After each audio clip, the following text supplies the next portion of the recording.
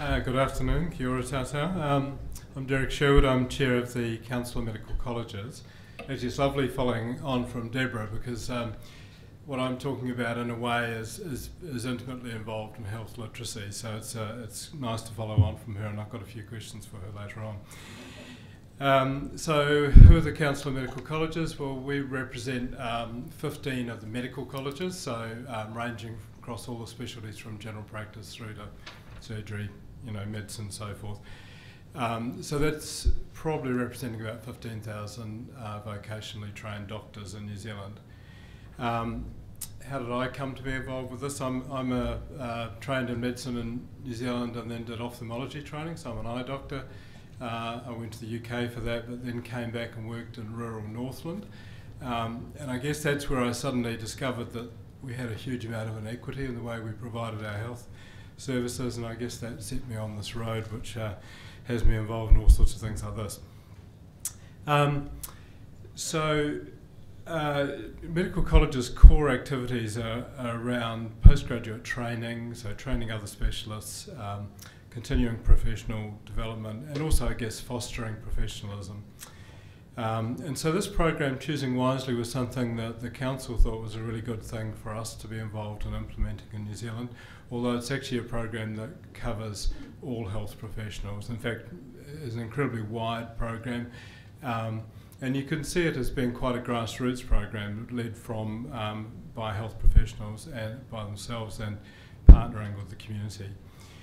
Um, so, what is it about? Where's the thing? Hang on. Doesn't look good. so what's it about? So basically it is about trying to improve the quality of conversations between health professionals and consumers and patients. Um, it's trying to inform, give them better information uh, about the evidence around tests, treatments and procedures um, and really trying to empower them to question uh, whether this is the right test or the right procedure for them and trying to avoid them having tests that are either unnecessary or where the, risks outweigh the benefits. Um, so it's a lot of it, this is really about um, shared decision making, so uh, which we'll talk about a bit more in a minute. It's part of an international campaign. Um, it's originally developed in the US in uh, 2012 and then spread to Canada. This is a uh, screenshot off their website. Um, and then it's, it's, now spread to I think there's 15 countries at last count that are in some way involved with setting up this program. Um, I'll get on to some of the details about the program uh, in a minute, but uh, it certainly links well with the New Zealand Health Strategy and, and that it's um, emphasising a team approach. Um, it's building on health literacy and trying to improve that um, conversation between health professionals and, and their consumers or patients. Um, and I'll talk a little bit in a minute, but a, big part of the program is a consumer engagement um, sort of arm to it. Um, it's trying to improve performance and outcomes and, and the outcomes of care. And it's targeting where we spend money. It's not, as I'll talk about in a minute, it's not about saving money, it's just making sure the right people are getting the right tests but, and treatments, but obviously that means also that we can spend our fairly scarce resources uh, wisely. So the core principles, as I said, are that it's led by health uh, uh, professionals, but certainly with a patient focus. Um, it's evidence-based, and it's again, it's about quality of care, not co not cost savings. Um, and we're as I'll talk about in a minute, we're engaging all health professionals from the beginning of this program. In the US, it started largely as a doctor's program and then spread out to other health professionals, but we're taking the approach that this should be uh, all of us involved from the beginning. Um, we talk in, in, choosing wisely. They talk quite a lot about low value care, um, not not value in the monetary term, but in terms of the value of care to patients. And what we're really talking about there is care that gives little or no benefit to patients, or where the risk of harm uh, exceeds the likely benefit. Um, so, you know, if you think about examples, and we'll have a few more in a minute, but, uh, you know, antibiotics for a, a, viral upper respiratory tract infection is giving little or no benefit to patients. Um, you can think of a whole lot of uh, examples of where risk of harm exceeds uh, benefit. Uh, so a, a, more complex one might be using a screening test for someone at a low risk of that condition. So doing a PSA test on someone who's at low risk. You know, your chance of actually getting a false positive result that then leads to them having a whole lot of other investigations and treatments is quite high. Um, care where the costs do not provide proportional benefit.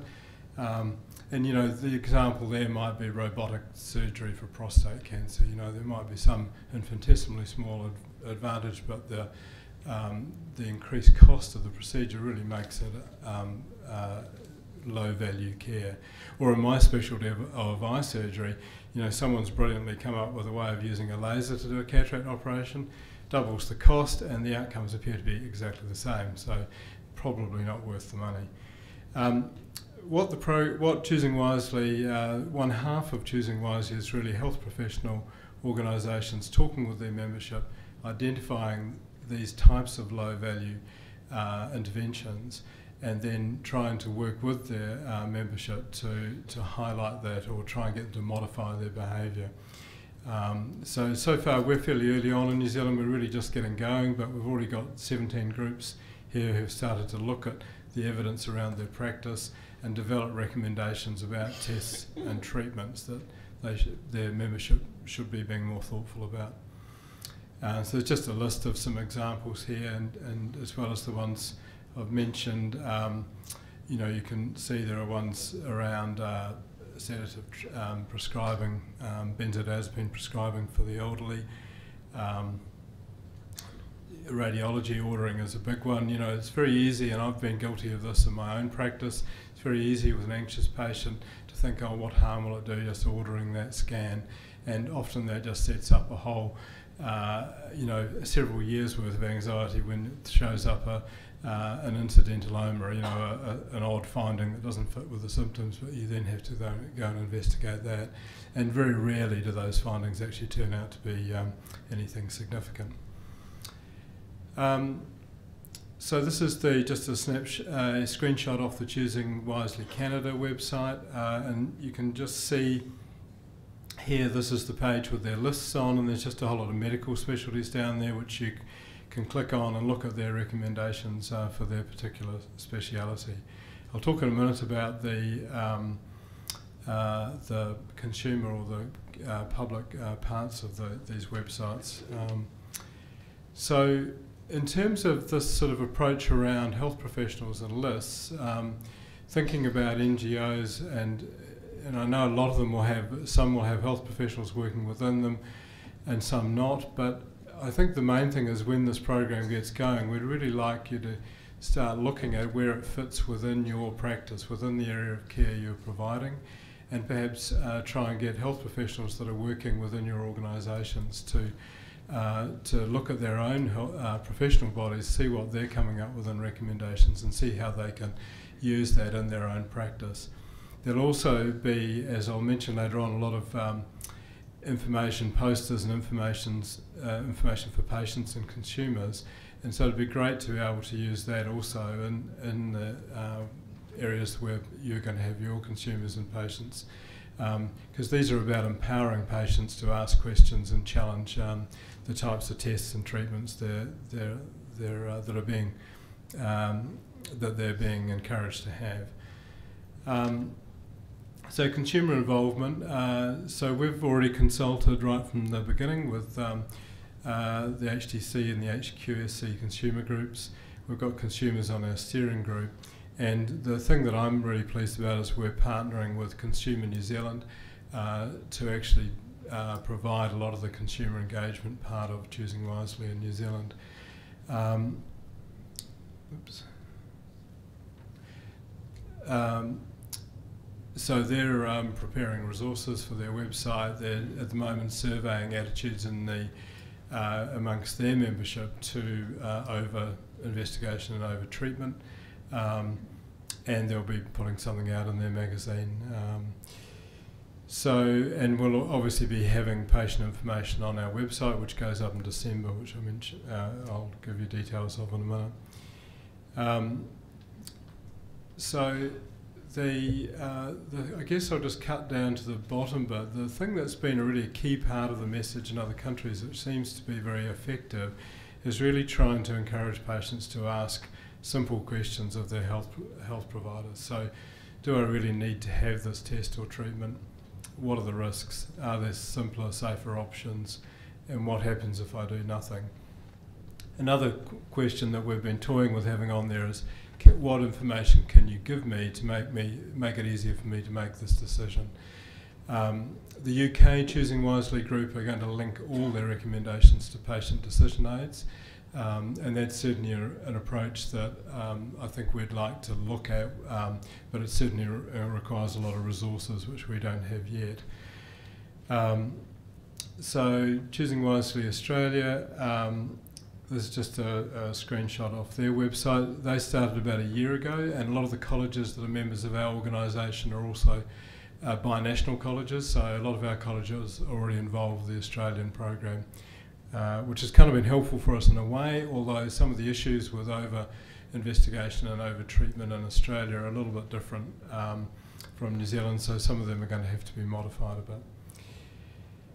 Um, this is, I guess, the way I like to look at this uh, and look about look at shared decision making, which is that you know whenever there's a discussion between a patient and a health professional, you've really got two experts in the room.